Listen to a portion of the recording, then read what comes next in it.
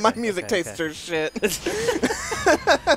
I feel the inverse. Maybe people would say if you, you're into Ariana Grande, your music taste might be shit. but All right, so we're going to be seeing Sora in this round one.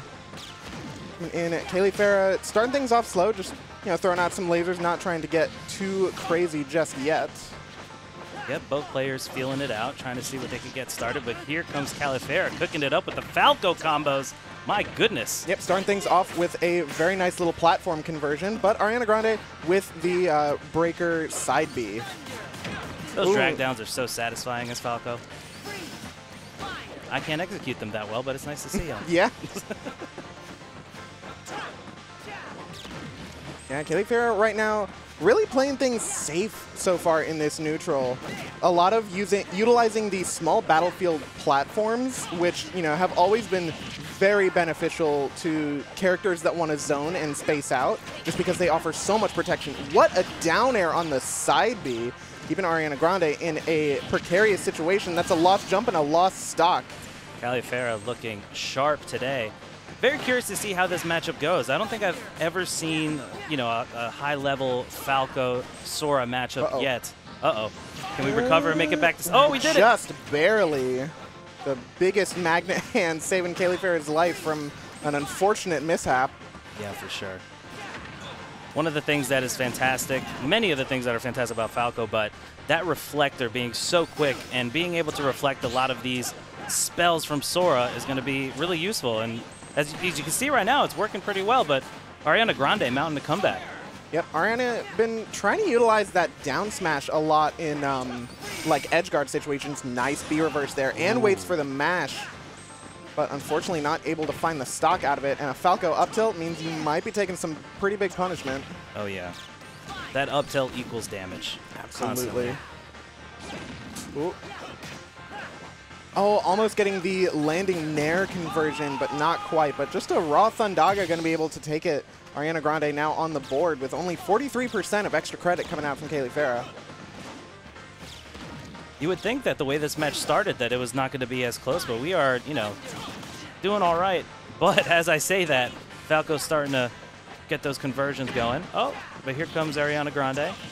Yeah, I feel like after that first stock, we really started to see Ariana Grande trying to throw out the where Sora like really excels in this matchup, which is gonna be off stage. Sora Right. really thrives off stage, whereas Spaceys historically do not. Nice Firaga conversion there. Now putting Caelifera back in the corner, but a well-placed back air, keeping Caelifera in this lead. That move is so strong. Oh, Unfortunate. I think Caelifera once uh, once the second Thundaga got clipped, uh, he figured he was clear to go. Now we're looking at a pretty even game right now, but an up tilt. All right, great uh, combo DI from Ariana. Not, you know, getting too much damage on the board just yet. those raw Thundagas just coming out of nowhere, but it worked a, a couple of seconds ago. Yeah. Good counter there by Ariana Grande. Yeah, and that's the first time we've seen the counter so far in this set, throwing it out, you know, getting close to this game one where it really starts to matter, but a nice drag down and another counter. Yeah, this is getting scary. All Falco needs is just an up tilt conversion, and then it's going to be game one. But let's see what happens Ooh. as we. Oh! What an air dodge read from Ariana. I didn't see that coming, my word. Very interested to see how the rest of this set progresses. You could tell that even though, you know, both players were feeling each other out at the start of the match, they still kind of held out that process, you know, not really committing too much things, but once they had an opening, they definitely were able to either just throw out a raw Thundaga like that or just throw out raw back airs. Yeah, I think Caelifera has a very slow and confident neutral. Mm. But I think because of that, when Caelifera gets caught off guard, he gets put in a pretty like bad situation. Yeah, speaking of bad situations, just eating the Keyblade to the face to end game one. But now we got two bans already. Small uh, Smashville and FD have been banned, so let's see where we head now. Oh, the switch to Bayonetta. Okay, interesting. Ariana's, Ariana's gonna be switching, switching things up. Very nice. We got our own tri-state proto here, going different mains each game. Oof. All right. So Bayonetta over Sora, definitely not going to be seeing as much, you know, zoning as Sora does. Of course, But of yeah. course, the uh, you know Bayonetta's got a pretty good disadvantage. So once uh, Ar- or once Caelifera starts getting a combo starter, Ariana's going to have a better time getting out of it. Right. right. Ooh.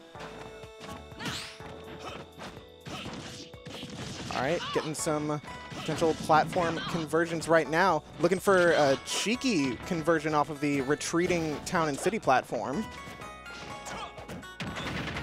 All right, witch twist out of shield, now putting some more damage on Caelifera. On Town and City Blast Zones, though, definitely not going to be killing anywhere close to the top, but nice snipe with the bullets. That was excellent. Excellent use of the projectile off stage. And now we're trying to see what the response is from Caelifera. I have to say, you know, I wasn't, you know, Smash Ultimate is sort of my first introduction into Smash and like getting super into the game. But I know from hearing everyone in the community talk about Smash 4 Bayonetta and how much of a terror that was. I don't want to bring any uh, flashbacks or have anyone have a nervous breakdown listening to talk, us talking about Bayonetta and Smash 4, but interesting to see what the character has done so far in the Ultimate meta. There's definitely a place for her, but just curious what, what your thoughts are on, on Bayonetta currently right now. Honestly, I feel like she's in a she's in a pretty good place in the meta. Ooh, a little bit of teabag coming out from Caelifera. This is, I think, that sort of confidence that I that we've seen from him before, and it's it's come to bite him uh, occasionally. So we're gonna see if we if Caelifera doesn't live to regret that teabag. Absolutely. Taunt to get F smash. Let's see what Bayonetta can convert here as Falco is at a super high percent. Solid lead, but, you know, Falco closing the gap right now. Yeah, and very quickly too. Ariana already at 70, but Caelifera now at a zero on his third stock with a great witch to it Yeah. or witch time. Yeah, that was excellent. Oh, then, of course, we want to tack on that extra damage with the... Oh, all right, Falco here. Yeah, Ariana put it in a pretty bad situation there. Had to jump away from the town and city platform to avoid being put in a bad tech situation. But making the most of things right now. ABK back into center stage. Uh-oh. No, she's fine. All right. All right, off stage right now. This is where Bayonetta really shines, especially, you know... All right, you're getting a little too confident. Definitely love to see our competitors having some fun out there. Ooh, tried to read the, I guess, just a neutral get up there. All right, caught the jump. Great use of the lasers. Oh. And a great ledge trump, putting Caelifera in even stocks right now. Uh-oh, gets caught by the downward ABK, and now off stage once again. All right, yeah, just waiting on waiting on that uh, on that kick. Putting on some big damage right now. The platform's coming in, putting Ariana in a bad tech situation. All right, using the guns to catch Caelifera jumping around a little too much. Ariana Grande doing a great job at keeping Falco in disadvantage right now. Oh, the DI. That, yeah, that didn't look Huh. very good. Wait, isn't it 1-1? No, Ariana oh, Ariana one. won. Yeah. Oh, yes, yes. You're right, you're right. Well, that does it for our first match. Ariana Grande continues through the bracket. Maybe we'll get to see more of them later on. Let's see. Good up smash there by Falco with the taunting. Disrespectful, but you know what? It is what it is. Yeah, sometimes, you know, especially after losing game one, you kind of want to get that little confidence boost. True, true. Hype yourself up. Absolutely. Great use of the witch time there by Bayonetta, getting that F smash.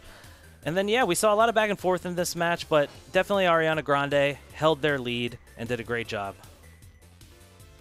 Yeah, let's see. All right, this was the last stock. I want to see what happened with Kaylee Fair, because those guns did not look like they should kill. Or no, it was, was it this dash attack? Yeah. Uh, Oh, oh. the shine the opposite way? I guess Accidentally? I- maybe Kaylee Fair just decided he was done. Said, look, I'm Got uh, dash attacked one too many times, and Yeah. that was it. Look, it's dinner time. Got to go get a slice of pizza around the corner, maybe. True. get refreshed before their next match. But hey, good luck to Caelifera throughout the rest of the bracket. Um, but who do we uh, who do we have coming up? Right now we have uh, Steven coming up versus Cass Starman, and Cass Starman, I believe, is the one holding the... It's like an art, like an uh, Smash art book